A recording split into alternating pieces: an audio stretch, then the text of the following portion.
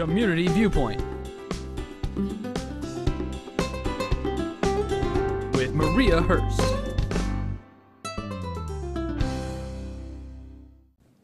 Hi, welcome to Community Viewpoint. I'm your host for this segment, Maria Hurst, and I'm already laughing and I'm already in so excited about my guest tonight. Well, please welcome Mr. Byron Wayne. Thank you so much for coming. Oh, you're welcome. Thanks You're so much for having me. Oh, I'm super excited because I, I love comedy.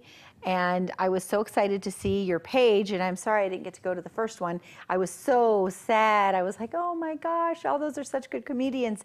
And so I contacted Byron and I said, please come on the show because all of our viewers need to watch the show, find out when his shows are, and tell all your friends. So, welcome. Yeah, yeah, thank you. And we'll fill Mountain Falls banquet rooms next time. Yes, we will. Oh, that'll be great. yes, we will. So tell me, um, what? So, so you were a teacher. So I heard before you were a teacher. So tell me a little bit about about that, and then how you came to be a comedian.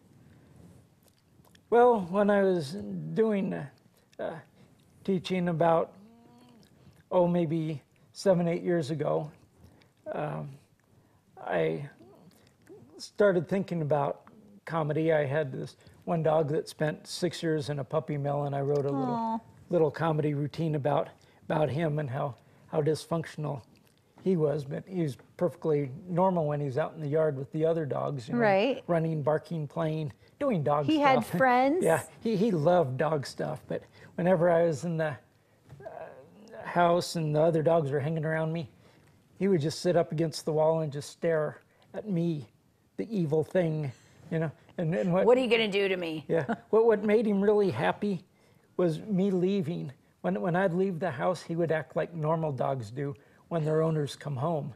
Oh, you know. my So when. I'd get, be getting ready in the morning, he'd be dancing around. Oh, he's gonna be going. He's gonna be going. and he'd just wait for the magic words, and I'd say goodbye, BB, and he'd spin around and run around the coffee table and go charging out the doggy door. My fenced area goes all the way around my house, clear back to the front door. And as I'd be heading out the front door, he'd be bouncing off of the house, spinning around. And then as I'd be getting into my car, he'd be up against the fence, "Arr, arr, arr, arr, arr." and then as heading out in the to go teach, he'd be prancing around with his head way up in the air and his tail as high as it could possibly be. Uh, he was Gets the house to himself with him and his friends. uh, he's a Bichon Frise, and when Bichons get happy, their tails are supposed to go all the way up over their back like this. oh my gosh. You know, but since he spent uh, six years in the puppy mill, he never developed those muscles. Mm-hmm. So when he'd get excited, his tail get happy, his tail would just kind of go like this. you know, so he had a condition that's known in the beef Sean Frise community as ETD, erect tail dysfunction. so that, that was my, my first real comedy routine that I wrote. Was- All right. It was about my dog baby. So he sounds very inspiring. Yeah. He sounds funny. So Oh, I. I did hear earlier it took him a while to like, I don't know about this guy. Oh yeah, it was. I, I had him five years before he would let me give him food. So he Before- he really made you interview for a long time. Yeah, well, you could tell that he'd been tricked so many times by Right. food. You know that, nope, not having any of that. I'm He's not like, "Forget for it, that dude." anymore. You know, but uh, yeah, if, if he was in a safe place, he would be fine. And Now, if for some reason, he'd feel comfortable sleeping right up above my head every night, and I could just reach up and pet him. But for me to go up to him and pet him, he wouldn't have any of that. But Yeah, only it'd when be- it's on his terms. He'd be fine with me reaching up and petting him when I was laying down. Well, he sounds hysterical. Yeah, yeah, he was a he, he was quite a little guy. He he died a little more than a year and a half ago now. Well, now Well- he gets to hear your routine wherever you are. Yeah. So, what got you started? Um, what what made you do your first DVD? Well, And we have the DVDs yeah, here. yeah, I, I have and two they are DVDs. available if you contact him on his Facebook page. Yeah, I just I just said that he didn't even know I was going to say that. yeah. One is Byron Wayne. I am a school teacher, and now that I'm no longer a school teacher, my second one is called Support Weed. Yeah. but uh, weed is spelled W E apostrophe D, which is an I abbrevi- love that. which is an abbreviation for we would. So I'll let you use your imagination for that one. Yeah. I love it. I'm totally buying these. This is awesome. So the first show at Mountain Falls was uh, a few weeks ago. Now the next one's coming up, Yeah. November 12th. Yep, Saturday, November 12th. They're all on Saturday, and this next one's at uh, 8 o'clock, and I think that the next one after that, we're going to try 7.30 start time and only have a, Okay. a half an hour for, right now, the doors open at 7 o'clock Okay. for those that want dinner. Okay. So there's an hour slot there for dinner, we might cut that down to a, a half an hour, and we probably will try it a half an hour for the December show. Okay. Well, because Yeah. people can finish eating while they're Yeah. mhm. while while they're while you guys are starting up.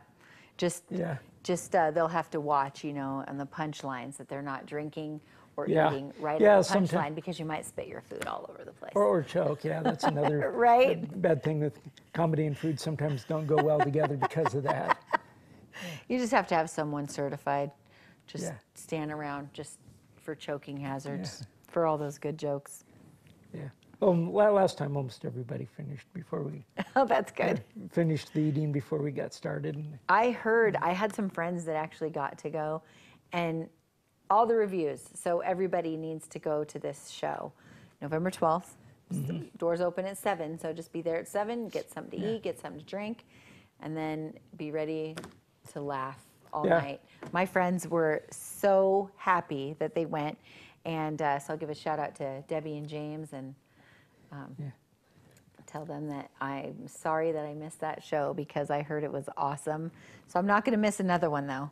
Yeah, and you, those of you that were at the last show, you're not going to have to worry about uh, hearing the same material from me again because I have uh, about 20 new minutes of material this time.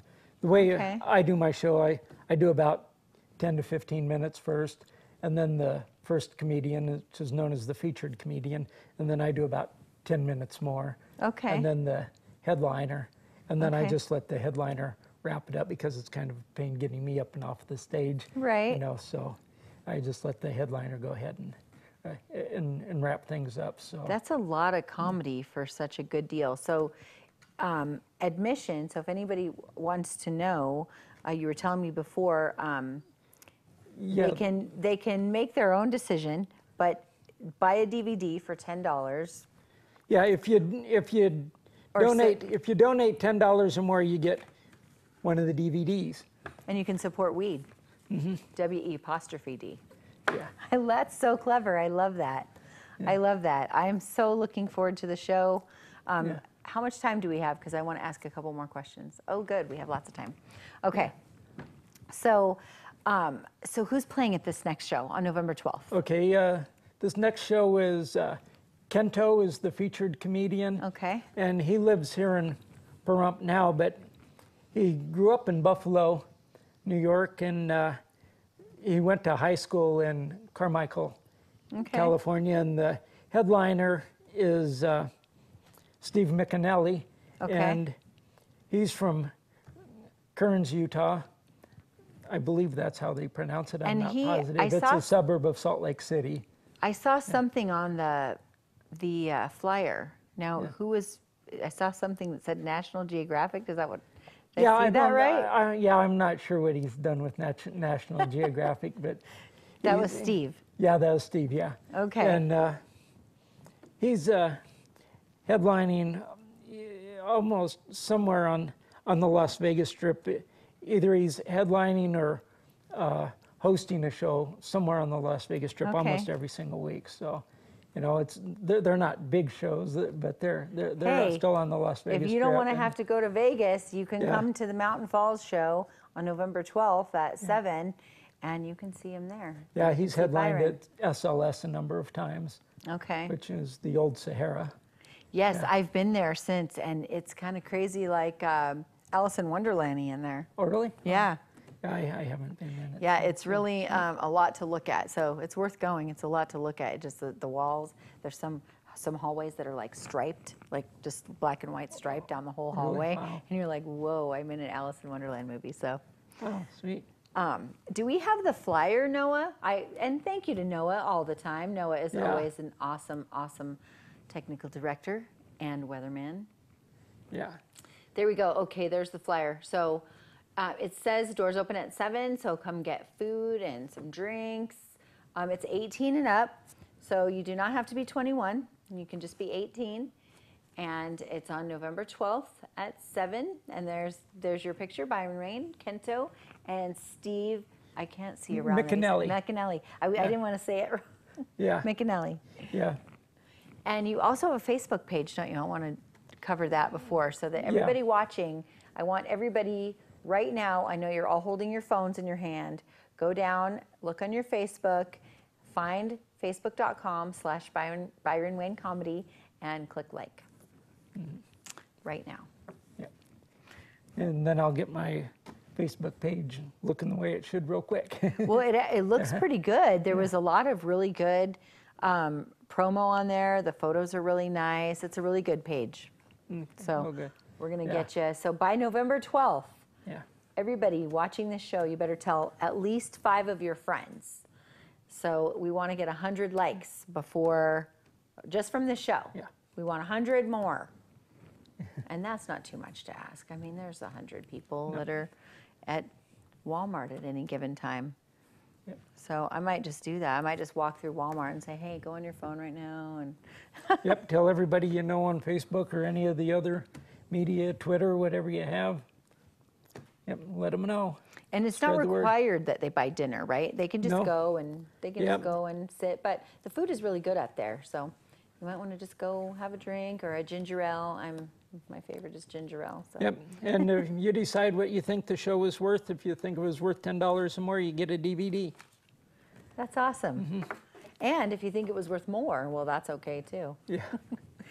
Thank you so much for Oh. coming. It was Oh, such a thank you so pleasure much, to have Maria, you for- and Yeah. to visit with you. What a great guy. And Yeah. I'm so looking forward to the show. You better be there. November 12th, 7 Yep. p.m. Yep. Thank you so mm-hmm. much. Any At last least messages? be there. No, at least be there by eight. That's when the comedy starts. Okay. Yeah. All right. But if have a good meal, they do have real good food there. So have a good meal, get a couple of drinks. Comedy's always a little funnier when you have a few drinks under your belt. Now, don't want you to have so much. Oh wow, check out what the lines on the road are doing. But uh, Right, you just know, take a ju- ju- designated just- driver. Just, just, just have enough to where you're, you're, you're feeling the comedy. We don't want you being rude and heckling or anything like that either. So. Yeah, because they'll heckle you back. Thank you very much. We'll see you next week. Community Viewpoint. Maria Hurst.